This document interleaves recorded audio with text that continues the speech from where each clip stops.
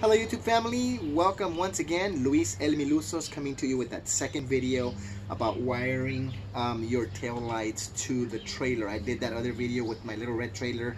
I was adding that other side marker, but that trailer had four uh, wires because the rear light has your blinker and your stop light uh, combined into one light. This is independent, it's separate. So I used a Torx um, little bit and then I have a quarter inch um, socket and then just a small little ratchet because uh, I, I didn't go to get my little screwdriver. These do come in screwdrivers as well, so you may have a screwdriver. This size is the T25, so I'm using a T25 bit, and what I did is I went ahead and just took this off for from the uh, the tail light and for ease of the video I've already done all this stuff you know so we can kind of move along really quick. So when you get to it you just take it off. This car has an interesting design because all you do is you just put your finger here you lift this and then you just pull this out and it comes out. Um, again for ease of the video I've already identified all these wires. You guys you just have to be careful when you're doing this. You're gonna do it one at a time. So if I was barely doing this right now I would have somebody go into the ignition and go ahead and open up the key and push your brake light and push you turn your blinker on and all of that. I've already identified that. I have my my tester okay? So it has a little bulb inside. You need ground so I went ahead and put it on my actual um, my tow hitch is already installed. So I went ahead and put this on my tow hitch. It's got really good ground and I always like to scratch just so I can get good ground. And then what I do is I come and touch this. So just for purposes keep this focus here on the light but just for example I'm gonna go ahead and turn on my lights and put my ignition on. All right, so now I've got everything kind of working together right there. So my lights are on and I'm gonna go ahead and touch touch here and you'll see one thing does one thing, the other one, uh, you know, so I'll show you what each one does. So because this light has your yellow, right? Your yellow is gonna be your blinker right? So we know this top section goes to your blinker. You have ground and you have your power. Usually black is your ground, but I always double and triple check it because I don't want to be plugging things in without, you know, being 100% sure. So if I go in here, there's my blinker, all right? And if I go in here, there's nothing. And if I go here, there's my running light. So this is my running light, this is my blinker, and then this is my stoplight because I've already tested this one is black, which is ground. If I undo this one, you're gonna see, and you always wanna make sure you don't touch anything, so I just hold it. If I put this here, and I touch this here with ground, and I come around and touch this here, it'll come on. See, that's positive, that's my ground. So this is confirmed it's ground. So just for you know, for sakes right now, I'm gonna go ahead and continue to leave this on just so it doesn't touch one of the other wires, okay? All right, so let's get started. So what I did is this, these come from factory and they come, you know, like this, right? They're complete. I went ahead and cut it. So I'm gonna undo my stop. Right here, this is my brake light, okay? So I'll undo my brake light and pretend that this is, you know, without cutting, this was one solid wire, one single one. I went ahead and used again my little cutter. Okay you could have a crimper you could have anything a blade whatever you want. So I went ahead and cut it and then peeled it on both sides. Now that's peeled. This one's also going to be peeled. So we'll get started with showing you what we're doing as far as the actual harness. So I went out and I purchased a vehicle converter about $24 it was $23.67 actually at Walmart. I was looking for it all over the place. Didn't even think of Walmart having it. Went on the website put in this particular converter number and it gave me a link to Walmart. Amazon sells it you know so you could have different places. I'm sure Pep Boys AutoZone. Many places may carry this. I just happen to have a Walmart conveniently located so I went over. It's from Hopkins. It's a vehicle converter and it's a four flat and it's the number 48895 48895 and this is actually pretty nice because it comes with a little converter box. So it's going to take my five wires and it's going to convert it into four wires for the trailer. So independent lights and combined lights okay for my tail lights. So let's get started. I'm going to go ahead because this is the the end that's going to hook up to my trailer.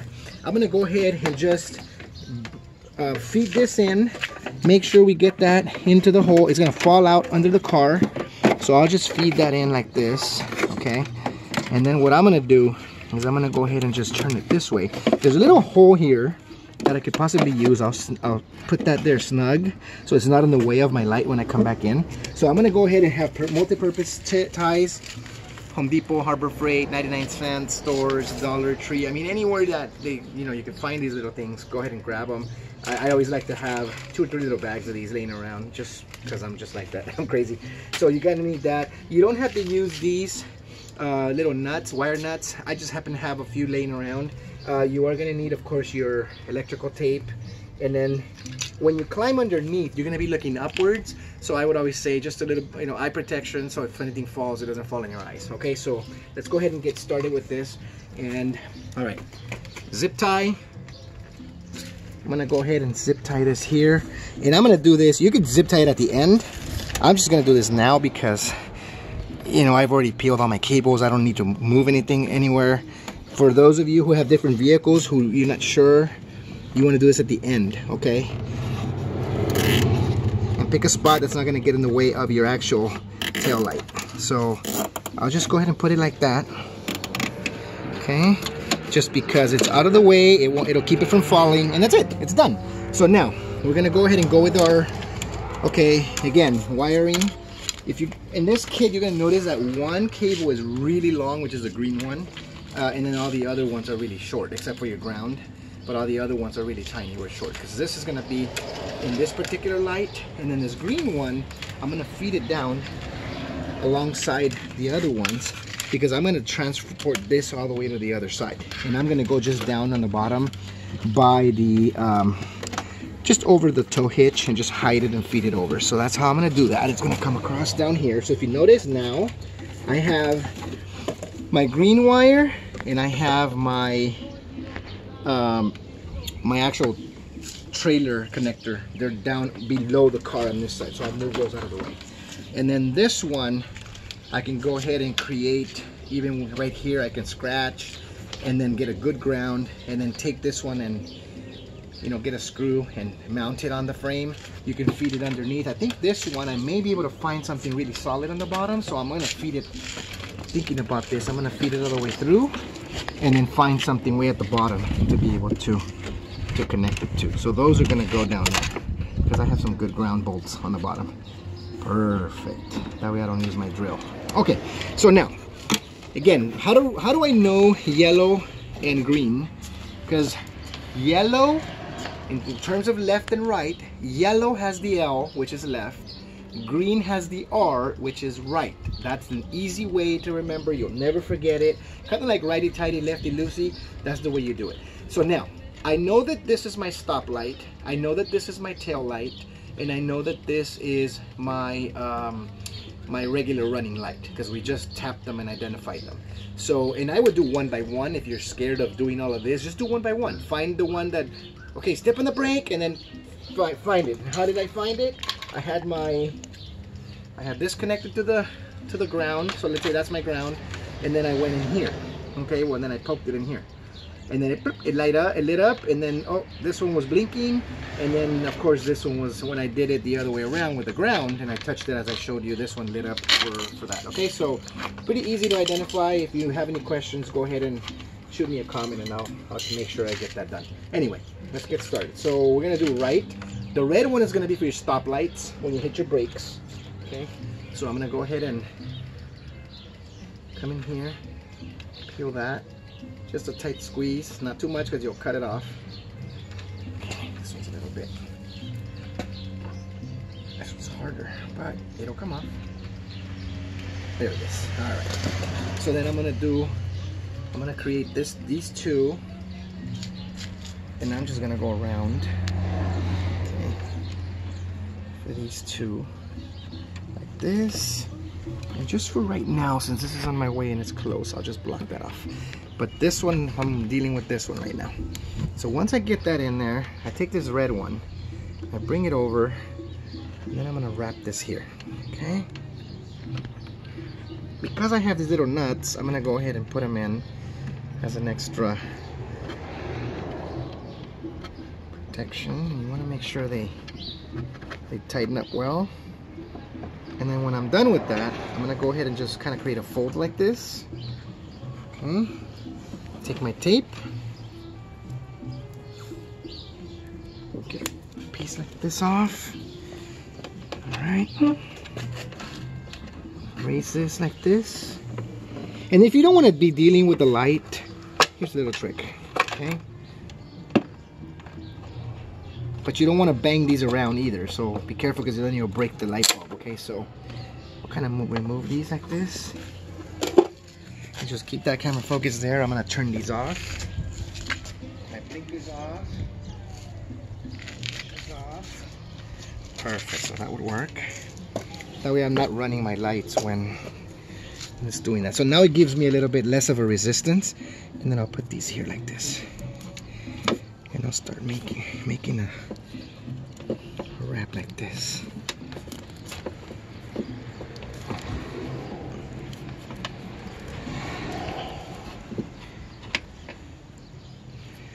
Okay.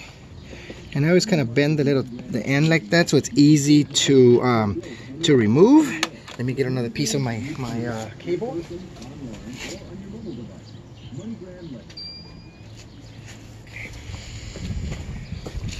All right, we'll do the same with the one. We'll take now. If this this kit came with a little terminal grease, and that's like if you wanted to connect something in the in there.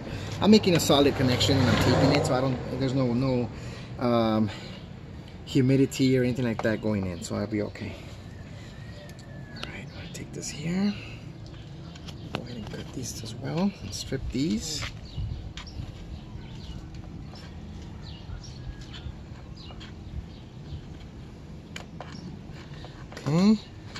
Again, left, right. So we know that this is your yellow. So this was your left turn. So we're gonna go ahead and undo this one. And these are like this because again, I had already um, identified them and made sure I knew uh, where I was going before I recorded the video. Again, so nice solid connection. I'll bring this one here underneath like this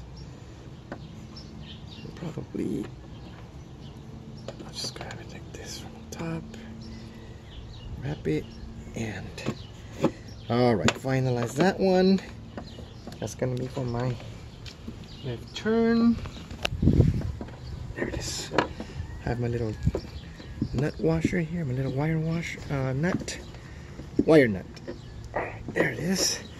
This one's already kind of like giving me this this bend here so I will continue that. And I always I don't want to rely on this because sometimes if it's thick like that it may peak on the bottom. The little um, wire nut might come loose. So I don't want to risk it just by leaving oh it's already done and I'm, I'm, I'm comfortable with that. No I always want to go ahead and give it that extra coverage with the tape. So I know for a fact with vibration anything like that I'm not worried about this coming off. Alright, so I will. And then again, just make sure, like right now, you're tapping the metal, it doesn't damage the light bulb, it doesn't break it. So the end tip is bent. Okay, that's two. And we're gonna go in here gonna grab this one here which is gonna be our running light. And because I had put a, a nut washer a little wire nut on it. Wire nut. I keep saying nut washer for some reason. A wire nut. I'm just gonna go ahead and refresh this connector here like that. Okay. All right so fresh connection. There it is to take this brown one.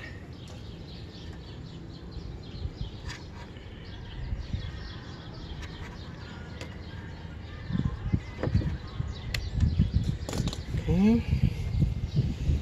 Going to be my running lights. Brown is always your running light. Yellow is your, again, yellow L with the left. Green or has the right. Okay, and that's it. I'm pretty much done with this connector. As you can see, I'm doing it in real time, so whatever the length of this video is, is what it's gonna take you for the most part to do that. So now I need my little wire nut in here.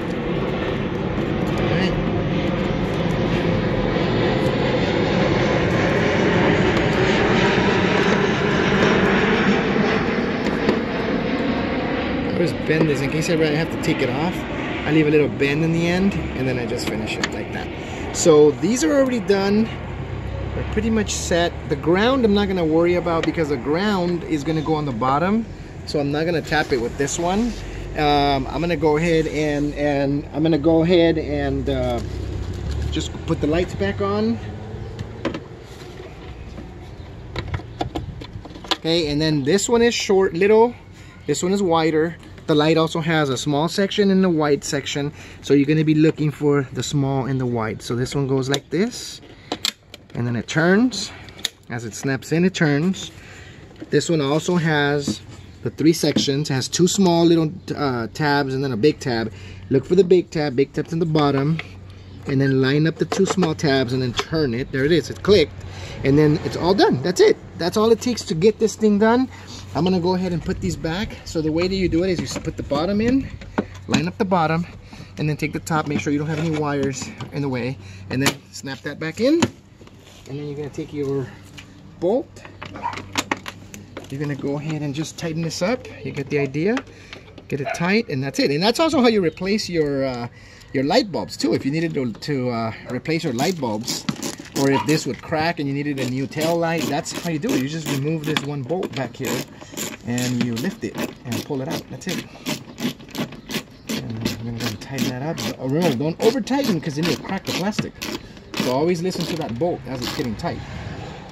See, it's getting tight now, right there. All right, good deal. So, okay, so now we're gonna go ahead and worry about this bottom one. So again, find a good ground for this at the bottom, any portion of metal that you have. If you need to if it's too long and you need to cut it, you, I mean, do whatever you need to do, but it has this, run it to a nice ground and fix it. And if not, wrap it inside of this and then drill to the metal. Okay, just make sure you scratch it. That's that part. This part is gonna go all the way across. So what I'm gonna do is real simple. I'm just gonna go ahead and hide it underneath. And there, the, the muffler's in the way, so you gotta tuck it real nice underneath. So follow that over this muffler section, bring it around, and then go underneath. I'm gonna use my creeper. You can use a cardboard. You can use a, a towel, whatever you guys want. Or even on bare floor, some people do that. But um, you can go ahead and just run this in, hide it, and this is gonna come around. If this is kind of short to make its way up, I'll just take another piece of green or any other color, but I, I'd go with green because I have green. And then just splice it, make a good connection, connection, and then extend it however long I need it and then bring it up and do it the other one. So uh, what I'm gonna do here in this light is the same thing. I've already removed it. Here's my, I know I don't need to worry about this side now. I only have to worry about my blinker for the right turn. Here's my black for ground and that's my wire for my blinker. Before I cut and splice, I'm going to run my right light. I'm gonna take my tester, poke it in there, make sure this color is in fact the one that's gonna blink. I don't wanna get those two reversed but common sense always black is going to be the ground. I just want to make absolutely certain that that's what it is. When i splice that one that's it.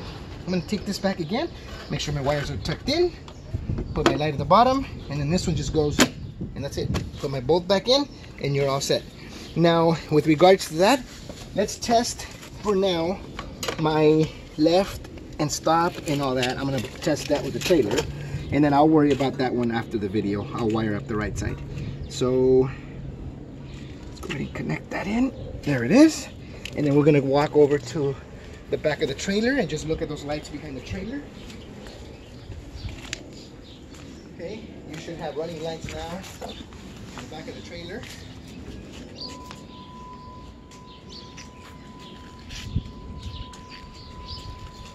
I should have my uh, left turn light blinking. No,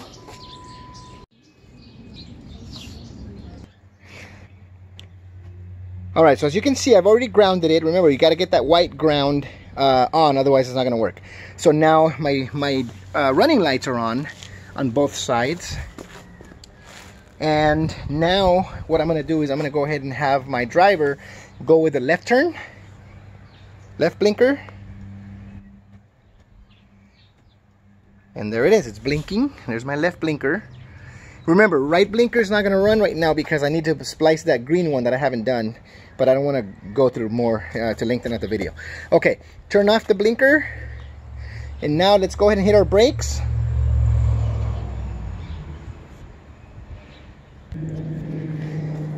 Okay, brake lights again. Again. And there they are. Both turning on for my brake lights. So all we, we're good to go except for the right blinker because that green wire has to be um, bridged over to the to the other side.